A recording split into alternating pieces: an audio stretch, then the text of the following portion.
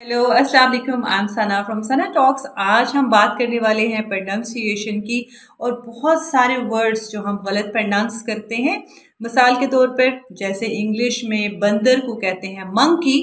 और तो आप समझ रहे होंगे कि गधे को कहते हैं डंकी नो गधे को कहते हैं डोंकी और बंदर को कहते हैं monkey don't forget the difference monkey and donkey not dunky अल्लाह हाफिज़।